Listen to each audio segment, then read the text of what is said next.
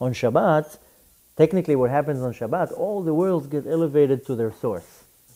So that's why we're, we're commanded lishbot. We can't have any connection to the physicality because all the worlds get, get elevated. So that's one of the reasons why we're commanded not to work because it's kind of like the elevator is going up now to the, to the penthouse.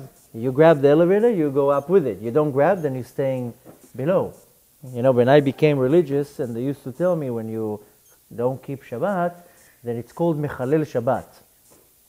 Now in Hebrew, Lechalel is when you take a flute and you, you know, זה לחלל.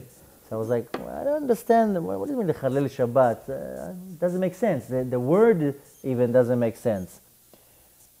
Now, then how I figured, how I understood it, on Shabbat, all the worlds get elevated. Everything gets elevated. Now, if you keep Shabbat and you grab the Shabbat, then you get elevated with the Shabbat.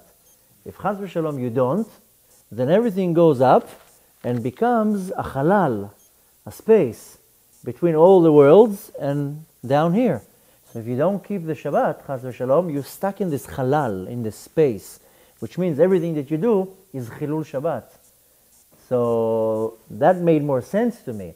And the thing is, this is unfortunate why Shabbat. That's the problem that they don't feel, but some people actually do. That's what this place, this. You don't feel. That already depends on the individual, because there are some people that when they don't keep Shabbat, they they feel. They feel. But unfortunately, when a person gets to the point that he doesn't keep Shabbat, then he's already so far away that he doesn't get affected by, he doesn't feel the absence. Or if you know, to compare a person who was born not religious and he did, never had this connection. It's almost like a person, take now a child and raise the child on a deserted island. He doesn't know that he's missing the candy because he never had candy. So even if you come and tell him, you know, there's a, such a thing as candy, he'll be like, okay, big deal. Because a person who's born religious never tasted it, so he's lacking already the taste. I'm, I'm talking about a person who was born not religious at all. So they do, he doesn't have even the minimum of taste of Shabbat. Even people that are not religious, like they know. Some don't. When I grew up, I didn't know anything about Shabbat. Not only that, I didn't even you have. Said you lived near Haredim. But I, that's for sure. I knew the concept of Shabbat, but I didn't know what it means to. Sh- uh, I didn't taste the time of Shabbat, the taste of Shabbat, to say, "Oh, I actually like it." So when you born, It's Israel, like every, like it's half and half. Everyone, you know. if you never, if you were born not religious, you know about the concept of Shabbat. But when you don't keep it, you don't feel like you like okay, it's another just another day. You don't feel like the absence. Now, if you were born religious, you kept Shabbat many years, then you stopped, and you some people they feel they feel like I meet a lot of people that they that they th- in the beginning, but I meet a lot of people that they you know went away from from their path, and they tell me I feel you know this richuk, this distance on Shabbat. I, seem, I feel something going on on Shabbat. Unfortunately, the more you drift away, then the less you feel. You lose the sensitivity. That's the whole problem with people who drift away in, in sin. Slowly, slowly, it gets, It it hurts get, the first few times. and that's it. Or if chas v'shalom, you're born, you're not born into it. Why? A lot of people who are they were born not religious. They come, they light once candles on Shabbat, or they put tefillin once, and they're like, I don't feel anything. People think that you're going to come and put on, and like you're going to faint from the kedusha. The thing is that the body is so far away, the body is so full of klipot that you're not going to feel anything. What about those people that it does make uh, some type of uh, something, something ignites in them? Yeah.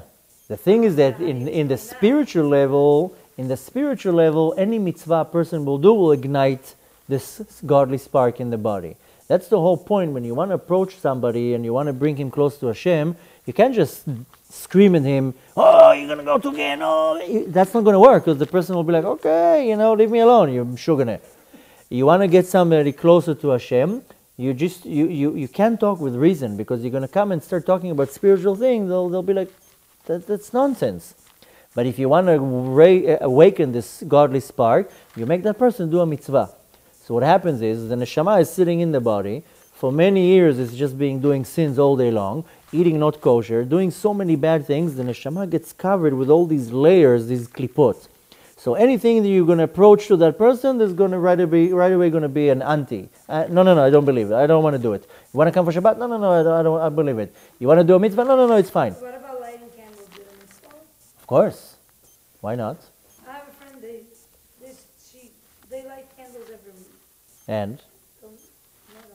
now the thing is, the, the way it works. have mezuzahs on the door and stuff like that, but it's very secular. No, the thing is, when the person is in, in such a level that the, the neshama is so covered with klipot, then the neshama, doesn't matter what you're going to let him do, the neshama will not feel anything. It's like, you know, you take now a, a source of light and you cover it with many, many, many layers, you're not going to see the light. Like a N- lamp. Now, if you're going to come now and make the person do a mitzvah, the neshama starts waking up. Now, usually what happens, right away the Yetzer Hara oh, will shut the, the, the light down. No, no, no, don't get excited. Uh, shut up.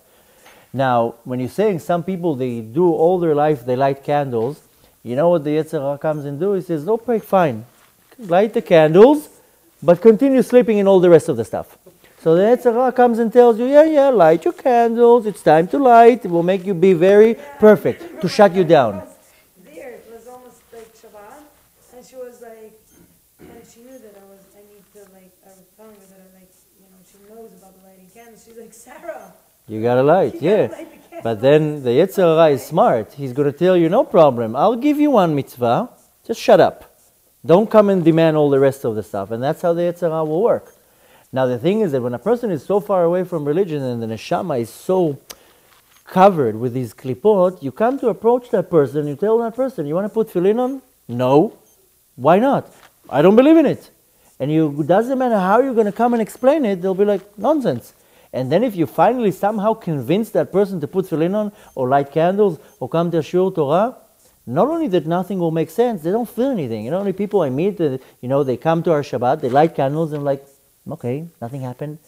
Like people think that you're going to light the candles, and so, so the thing is, some people do. Some people are very spiritually sensitive that they do a little mitzvah. actually on a group, um, Birthright to Israel, with non-religious people. And my husband was putting on tefillin for them. They had no idea, they didn't even, they knew they're Jewish, that's about it.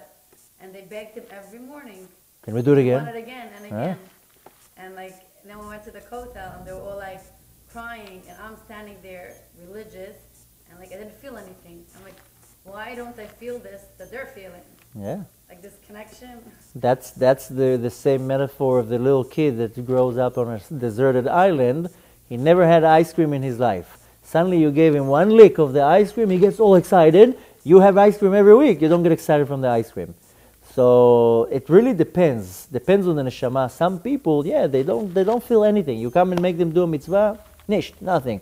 Some people, you just do something, they feel this uh, this amazing arousal. I have a, a, a person that I know that I took him once to the mikveh. He went out of the mikveh like, uh, you, know, he was like, I can't believe it. He was like, for a whole week, he's like, you know, I, I can't even explain to you how I feel. I feel like like this rock was removed from me. So each person gets gets affected by something else. I know a lot of people that they're like a rock. Doesn't matter what you're gonna do. eh, I don't feel anything. So it all depends. The thing is that we create our own masachim, these own klipot. So if I'm now removing myself far away from Hashem, that's going to be very hard for me to come back, and I'm not going to feel anything. Now the thing is that talking how we started talking before about the Rosh Hashanah, when Hashem wanted to create the world, Hashem said, okay, I have to remove this godly light in order so there will be some type of existence. So Hashem basically contracted his light, made these tzimtzumim. Now the tzimtzum, this contraction, is for us, not for him. Hashem doesn't doesn't change any, anything for Hashem. The- concealment of the light is for the nivraim, for us. So when Hashem hides himself in these contractions, in these tzimtzumim, like these layers, the one that gets affected from it is the one that it's done for. So I'm not going to see Hashem. Not that Hashem doesn't see me, or it's, it's like a one-way, one-way direction. And the thing is that when I now decide chas v'shalom by mistake, on purpose, by chance, by not knowing, but let's say I do an avera.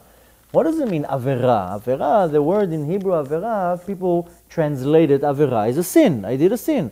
But avera from, comes from the word av, lavor, avar. So if I'm now in the side of kedusha, in the tzad kedusha, and then I move over here, I went away from the kedusha, so avarti. I went from here to here. That's the avera. I remove myself from the from the realm of kedusha, and I move myself over here. Now, once I move it, nobody, I can't, I can't blame anyone but myself. If I did, chose to move over here, then I, I'm responsible. I can't complain to somebody, oh, because of you. Now, obviously, there's there many different levels in the Avera. Some, uh, some of the sins, you don't even know that it's a sin. So then, the, then the, there's no punishment. There's, no, there's nothing against you. There's still the blemish that was done by the sin that needs to be polished. But some degrees of the sin are harder. If I know that it's a sin, that, uh, that I wanted to do it, that I had a fight, there's many different levels of the severity of the sin. But the fact is that when I, chas v'shalom, do the opposite will of Hashem, then I transfer myself from here to here. This is the concept of avera, la'avor mitzad echad sheni, from moving from one place to the other. So obviously, when somebody is on the other side of kedusha, the other side of holiness, then he's, there's richuk, there's no connection. So some people are very far away, so nothing you're going to say, do, or think, they're not, not going to feel anything. Sometimes the, the distance is not so far away. Sometimes a person, he did one little mitzvah, and even by chance, or by, or by like you said, with the, the, your husband used to put tefillin on the, on the man. Sometimes all it takes is one little mitzvah for the neshama to start waking up. Now, usually how it works is that when we're in our body, we have two nefeshot. We have a nefesh behemit and a nefesh elokit. Nefesh elokit is the godly part of the nefesh, and nefesh behemit, exactly how it sounds, behemit comes from the word behema, like an animal soul. The godly soul only wants to do mitzvot, only wants to learn Torah, only wants to do chesed, only wants to be connected to Hashem. He doesn't want to do anything that has to do with this world.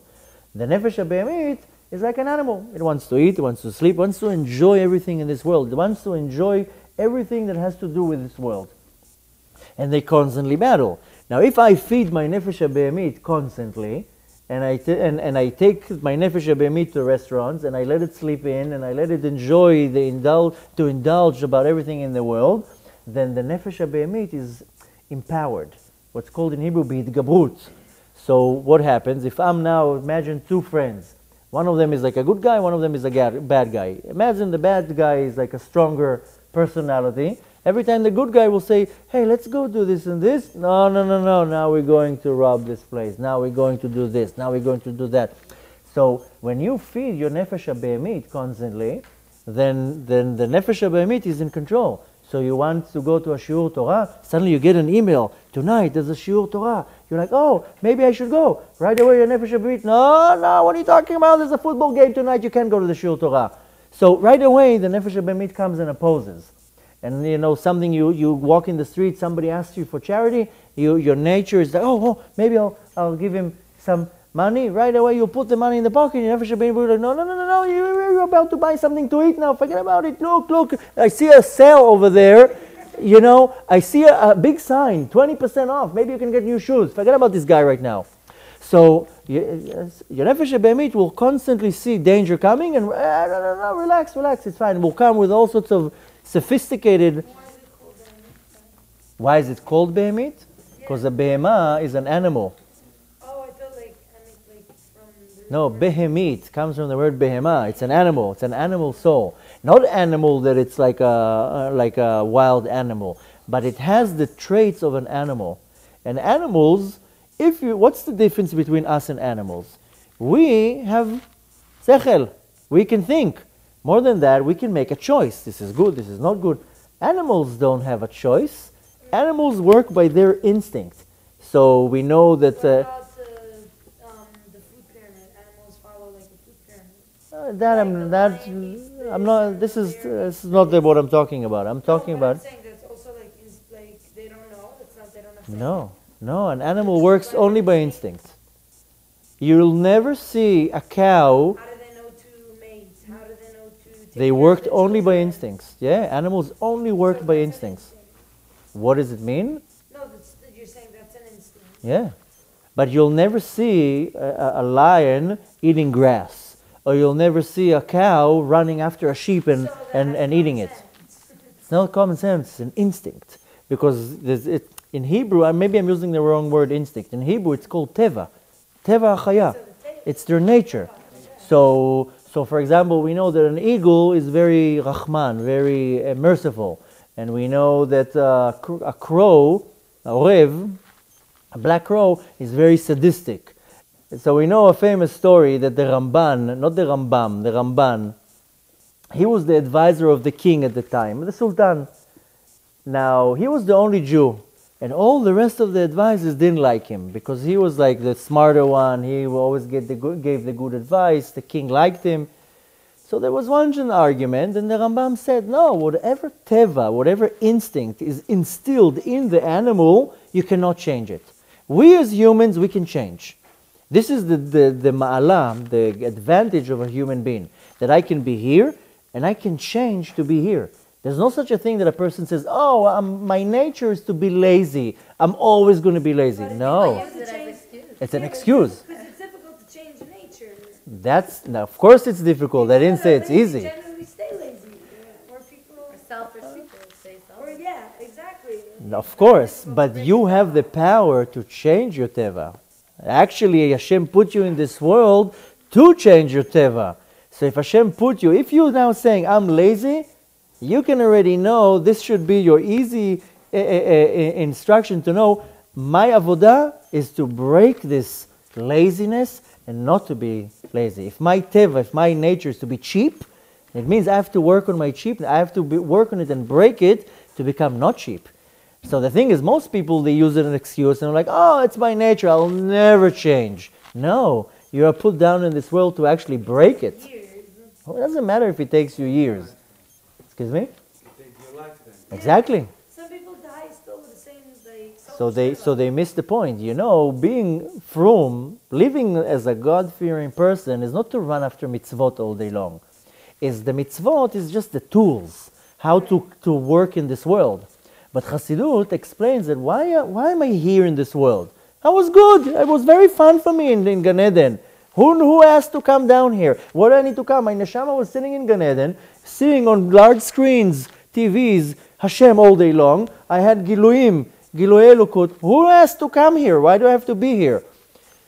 So the reason why we came here is to elevate, first of all, to elevate the entire world. When I'm, when I'm being placed in this place in the world, I have to elevate this nikuda, this place in the world. But more than that, I came here dressed in a body, dressed into a nefesh, to change and, and, and elevate the body, to change the nefesh, to work on my midot. There's a concept that we know that we have to work on avodat midot. We have to constantly work on our midot. Now, if I'm autopilot and I'm very religious and I go to shul every day and I eat kosher and I do Shabbat and everything, but I'm very like, autopilot, I'm like sliding, I'm not doing anything. The fact that I'm doing mitzvot, it's very nice and Hashem is very happy and I'm going to get a great sachar in Gan Eden for that, but I'm missing the point. It's like going on the highway, putting the gear in neutral and putting the gas all the way down, nothing moves. If you don't step up, if you don't grow, you fall. Exactly. You. Exactly. This is what I always say when the, life is like comparing to driving a, a bike. If it's easy, means you're going down. That's how it is. So obviously we came here not to like, uh, for sure not to do sins and enjoy this world. But let's say a person already is in a level that he's uh, dati, he's from, and he's doing mitzvot. If he's not constantly working on refining himself, then he's you losing the, the you lost the point. The mitzvot is very important to run after, and we have to learn Torah and we have to do everything. That's just the tools how to deal in this world. And like. No, and then once you mastered, By yeah, you constantly have to refine yourself. And whatever is the hardest for you, you're lazy, you're cheap, you're whatever. Not you. I'm just saying No, a person there- is There isn't just one teva. There's like a person can have million. Exactly. needs Yeah, refine. yeah. Yeah, and that's what you have to do all your life. So if I'm lazy, I can tell you on myself that when I became religious, I came to the show wow, with a whole list of things that were very, very bad. And I can tell you that half of them, yeah, half of them I already completely changed it, completely. And some things I'm still working on it. So the whole point of doing tshuva or living religious is not necessarily to follow all the mitzvot. That's you have to do. Your whole point is that you want to refine yourself constantly, constantly refining yourself to be more, more and more better. Now, the thing is that going back to the to the story with Ramban, so they had an argument because Ramban said, no, we as humans, we have the power to change our nature. The way that we were born is not how we're supposed to leave the world. We came through here and we're going out from here. So if I came and I didn't do anything, I, I missed the point. So we came here to refine our midot. So at the time, so Ramban said, no, we as human beings, we have the options of changing our nature. Animals you cannot change. So the other advisors were arguing with the Ramban. They're like, no, we can prove to you that you can train an animal to do whatever, whatever you want. So they said, okay, let's put it to the test. So they, they, the advisors, they took a cat and they trained the cat for months to do whatever they wanted. Came the day that they came to prove the, the experiment. So the advisors, the advisors came and the king was sitting, they made a whole thing out of it. And then they brought out the cat that they trained for months. And whatever they told the cat to do, he did. And the cat came out with the, with the trays of food, and the cat did this, and the cat did that, and everybody, you know, got all excited. Wow, they really trained the cat. Look, the cat is serving food, the cat is doing this, the cat is doing that. So the Ramban looked at it and he laughed. So he went and he pulled out from his pocket a little mouse. He threw the mouse on the floor. The second that the cat saw the mouse, threw all the, all the trays and started running after the, the mouse. So you can train the animal to do whatever you want, I mean, but you can't change its nature. You have it today, like all the time. You see, like animals are trained, But circuses yeah. and how many times you see a lion that is trained that uh, that he freaks out and suddenly eats the trainer. So here now in Disneyland, whatever, Waterworld, wherever the, where it's called, Disney World, they had like 15 cases in the last couple of years that the, the, the whales, they eat the trainer. They didn't do shows anymore. Yeah, yeah, Yeah. for a lot of years. yeah. And now I saw not too long ago somebody said, they up the trainer? yeah, because the whale got freaked out at some point and he attacked the trainer. And I saw literally a few days ago somebody emailed me a, a, a video. It was with a joke. It doesn't matter the joke, but you see a person that was like making a show with the crocodiles, and putting the head into the crocodile's head. There's movies everywhere on YouTube and Facebook, and he bit him in the middle of the show. So you see so many shows that the the lion bites the trainer, the, the whatever. So you can train an animal, that's for sure, but you can't change its nature. So you take now any animal and you train it, but then put it in its natural environment, it will forget the rules. But the thing is that we're not animals. We, we have the ability to arouse ourselves and we can work on our midot. So if I have a bad trait, I first of all it's very easy to recognize your bad traits. If I'm lazy, if I'm cheap, if I'm stingy, if I'm whatever, I can recognize right away my midot raot, my bad my bad midot. And if you want to really refine yourself in this world, you work on that. And that's the hardest to really refine refine your midot. But at the, in, in essence, Hashem doesn't really need your mitzvot. You're doing mitzvot for yourself. Mitzvot is like, you know, how to, to maneuver in this world. You walk into a car. Now take a person who grew up on an island, you give him a car keys, doesn't matter how fancy the car is, he doesn't know that the right pedal is to move and the left pedal is to stop. So you have to learn, oh, you move this stick. If you move this stick, you start driving. And if you press this stick, it moves. You press that stick, the car stops. So Hashem gave us a lot of these mitzvot. Press here, you're going to get it there. Don't press here, you're not going to get there. So Hashem gave us mitzvot to, to learn how to maneuver in this world. But the main avodah that we want to do is we want to refine, refine our midot. And there's a lot what to refine. And exactly like you say, you have a whole life life to, to, to refine it. See, That's not that you wake up in the morning like, okay, from today, I'm not going to be cheap anymore. It doesn't work like that. It, you, it takes you a long time to change yourself. So going back to what we were talking about, that you have in your body a nefesh behemit, Not that it's a behemit comes from the word behema, an animal. Why? Because it wants to be involved only in gashmius. It wants to eat. It wants to get physical pleasures. It wants to, to enjoy life. It wants to sleep. It wants to enjoy this world. It doesn't care sitting in a shul. It doesn't want to go to a shiur Torah. It wants to go to a movie. It wants to sit with friends and have a cup of coffee. Your nefesh behemit will constantly will move you away from kedusha, and you constantly have a battle. Now, if a person lives a certain lifestyle then he's so far away, this nefesh behemit will slowly, slowly diminish the power, the light of the nefesh elokit. Then you approach this person with a mitzvah. Either he doesn't want to do it, either doesn't, doesn't interest him, or he does the mitzvah. He's like, I didn't feel nothing. You know how many people I drag them to come to our Shabbos table, and they're like, you know, very nice family, and the food was very good, but I don't feel anything. It's just another day. I feel actually more fun when I'm on the beach. Because sometimes the Nefesh Elokit is so buried that, that, that doesn't matter what you're going to do, doesn't see doesn't see anything. Like how you said with Shabbat. Sometimes, yeah, I'd rather be in a club. I'd rather be on the beach. I'd rather be here. Why? Because your nefesh behemit, your nefesh behemit is, is still like an animal. You, you put now an animal in a cage and you make the, uh, you know, its food walk around outside the cage. Excuse me? It's difficult to tame. Yeah.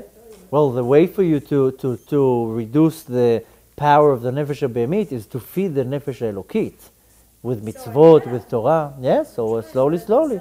But like you said, sometimes I'm doing davening and not it's cooking amazing davening, and then And then the next day it's worse. Later, even, But that's normal.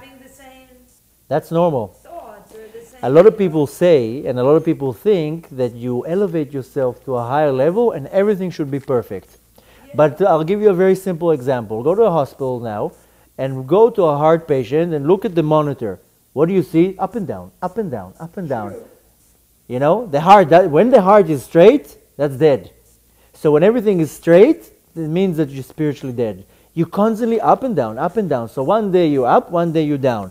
If you look, if you, the day that you're down, you're like, ah, what a shitty day, and I didn't pray, and I didn't do this, and I didn't do that, and, I'm, and I, I didn't say any brachot today. If you're looking it in a very negative way, then you, you, you're missing the point of the going down. It's almost like, you know, kids, they like, like, like jumping on trampolines. If I'm going to jump now on a trampoline, I'm going to throw up after a second. But when I was a kid, you know, kids, you put them on a trampoline, they don't stop. Why? They get some type of this rush, this excitement from jumping up, down, up, down, up, down. You put an adult on a trampoline, he'll throw his guts out. So the same thing, the neshama has to go up and down, up and down, up and down. So when you're down, if you feel down, then you then you you're missing the point that why do you go down? You go down to jump up again. So you need these days that you're down because if everything will be good, that's you you you you're riding on a straight line. You don't get the chayut. What's the whole point of the heart? Pumping in, pumping out, pumping in, pumping out. Yeah, exactly like a muscle. If you now go to a, a, a gym and you go and you take a piece of weight and you go like that and you don't move, you didn't do nothing. You have to you have to pump it. Uh, so the same thing in the in spiritual level. If you don't pump uh, in out in out up down up down, your neshama it gets flat. There's no avodah. So the fact that you have a bad day, if you let the yetzer hara over overtake it, then he will tell you, "Oh, look what a bad day you had." Yeah, he's gonna take all the air out. But if you're saying, "Okay, I am now bad day," yeah. So for tomorrow, I'm gonna be in the up. So it's a normal thing. Don't let that discourage you by. Okay, so sometimes the, the jumping, sometimes the trampoline is a little bit loose. You have to go very down. But the good thing is it that, that you can take, in Hebrew they say litfos tnufa. Sometimes, you know, when you want to jump, you want to jump far away, or you want to jump over a big wall, you have to go far. You see, you know, I remember when we were kids, we wanted to jump over a wall. You go like 50, feet far away to run real fast, and then you have power to jump over the wall. So it's everything you can see in the physicality, you can compare it to the spiritual level. Sometimes you have to go far away so you can get the, how do you say tnufa in Hebrew, in English? Like to, the drive? No, it's not drive. Nufa is like when you you you you you you go far to like accelerate like a car. You want to drive fast, you have to accelerate. The car doesn't. You don't just press the gas and you're 100 miles an hour. The car has to take off. It's kind of like taking off S- gradually. So the thing is that the Yetzer Hara is waiting for the second that you're a little bit down to come and push you. You know those annoying friends that you're having a bad day and then they come and annoy you because they, they have this bad midah that they see you in a bad mood, then they come and annoy you. So the Yetzer Hara is that type of a friend. He sees that you're having a, a bad day, that you're not so strong spiritually, then he comes and annoys you. Yeah, yeah, no, you didn't do this, you didn't do this. That's what the Yetzer Hara. Yeah. To push you when you, you know, you, unfortunately, some people, that's their nature. They see you, they see you down, they come and annoy you. They, instead of picking you up, so your nefesh habehemit, your Yetzer Hara, all this clan, they're waiting for you to feel a little bit bad so they can come and, and, and tell you, oh, look how bad you are. Don't get excited because of that. Rather, he's saying, okay, if today was a bad day, must be that tomorrow I actually will have the koach. And some days you wake up in the morning and everything you like, you know, you didn't even put the alarm clock on. You wake up at six. You like run. You're like, okay, I'm going to pray today and I'm going to do this. And usually every day you come to eat, you're like, oh, it's a motzi. I don't feel like washing now. Okay, I'll just eat this. So you find a, a- some type of a, a loophole to say, oh, it's not even a motzi. It's, it's a mizonot. And some days you're like, oh, I want to eat because I can say Birkat Hamazon. Some days you have this excitement. So you need to know when the days when you back, how to deal with it, and the days when you're strong, how to deal with it. The point is not to get uh, dizzy because one day you're not hundred percent. Don't don't let the Yetzer trick you so much. You have to be a little bit smart.